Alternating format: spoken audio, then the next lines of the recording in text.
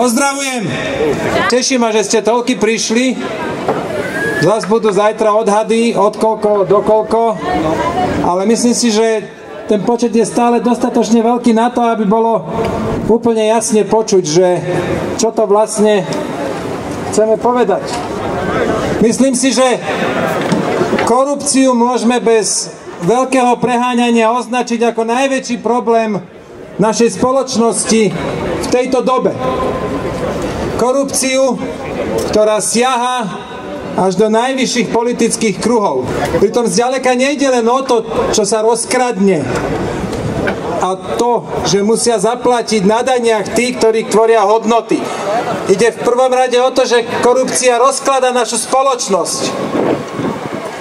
Už nie je úspešný ten, kto je pracovitý a má dobré nápady. Úspešný je ten, kto je náš človek, kto má tie správne kontakty a kto nemá najmenšie zábrany Boha pusto kradnúť. Je na slnko jasnejšie, že pri takýchto pravidlách môžu žiť dobre len bezcharakterní jednotlivci, ale nie celá spoločnosť. Tento rozklad našej spoločnosti je ten skutočný problém, ktorý korupcia prináša. Korupcie sa darí v politike aj preto, lebo je možné vyšetrovanie ovplyvniť alebo zastaviť. Preto je tak veľmi nebezpečné pre našu krajinu, že máme ministra vnútra, ktorý je osobne vyšetrovaný s podvodou svojim priamým podriadeným. Preto je nebezpečné pre našu krajinu, že takýto človek v podozrení s podvodou, vyšetrovaný svojim priamým podriadeným, ešte stále neodstúpil toto je skutočná hamba. Preto sa musíme ozvať. Vládna garnitúra zrejme stratila politický kompas. Pán Fico, pán Bugár, pán Danko jednoducho stratili koordináty, stratili zmysel, pretože čo je teda ešte v norme a čo už je ďaleko za čiarou. A musíme im to pripomenúť, že takéto veci sa v slušnej spoločnosti nerobia. Neviem si predstaviť v tejto oblasti väčší konflikt záujmov. Chápem, že Robert Fico nekoná. Konec koncov Robert Kaliňák vie to hodne veľa za tých 9 rokov, čo je ministrom vnútra. Zrejme by veľmi rýchlo vedel rozložiť celý smer. Ale nerozumiem Belovi Bugárovi a Andrejovi Dankovi, že pri tejto špinavej hre asistujú. Andrej Danko predsa chcel vniesť slušnosť do politiky. A Bela Bugár chcel vniesť charakter, ktorý má rozhodovať. Títo dvaja páni zaujali maximálne submisívny postoj. Slabučko hryskajú, ani len nehryskajú, ale za to ukázali svojim voličom tú hnusnú tvár politiky. Toto je skutočná bieda slovenskej politiky. Dnes neplatí to, čo bolo povedané včera. Slova strácajú svoj význam a úplne sa z politiky vytratila česť. Andrej Danko a Bela Bugár sa môžu hambiť. Najviac títo dvaja páni, lebo oklamali svojich voličov. Pomáhaním sa vecí, ktoré by mali byť samozrejme, strácame čas. Mohli by sme žiť v bohatšej krajine a mať vyššiu životnú úroveň. Nemuselo toľko ľudí utekať zo Slovenska, keby bola slušnosť v móde, keby sa skutočne oplatilo tvoriť skutočné hodnoty, keby pracovití a snaživí a múdri boli tí, ktorí sú aj úspešní. Koľko času a energie vynákladáme na to, aby sme zviedli tento boj o elementárnu slušnosť. A koľko času a energie vykladá táto vláda na to, aby voličom vysvetlila, že všetko je v najlepšom poriadku.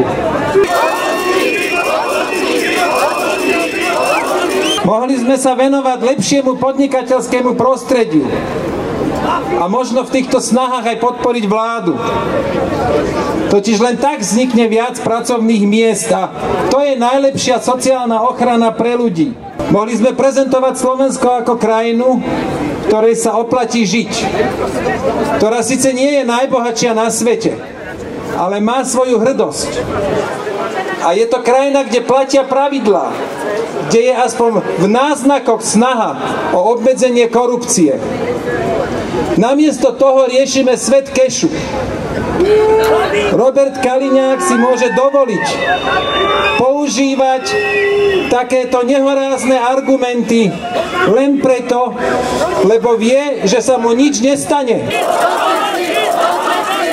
Myslím, že už mi veľmi pomohlo objektívne a poctivé vyšetrenie. Riešime tu svet kešu podľa Kaliňáka, lebo vie, že sa mu nič nestane. Preto, lebo Robert Kaliňák presne vie, že Béla charakter Bugár a Andrej slušnosť Danko ho podržia.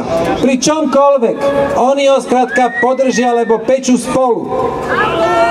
Toto je to smutné na politike našich dní. A práve preto tento protest. A preto opätovné odvolávanie Roberta Kaliňáka. Aby sme im pripomenuli, že nemá tam Robert Kaliňák čo hľadať.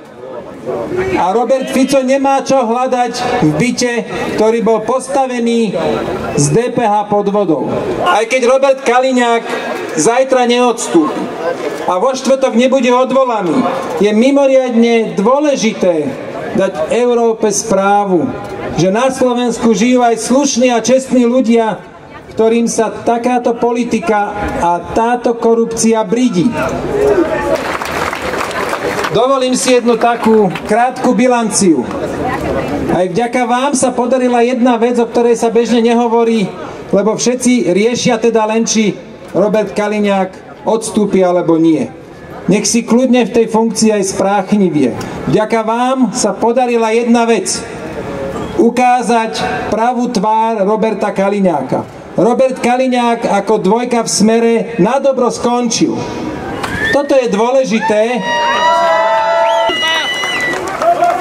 keď strana ako Smer, ktorá nás v minulom volebnom období obšťastnila vyše 150 korupčnými kauzami, keď takáto strana príde o svojho korunného princa, toto je dôležité, preto majú tieto protesty význam. Robert Kaliňák ako dvojka v smere skončil, tak ako Pavol Paška. Možno budú títo páni vďaka Bélovi, charakterovi Bugárovi a Andrejovi, slušnosti Dankovi vládnu celé 4 roky. To je kľudne možné.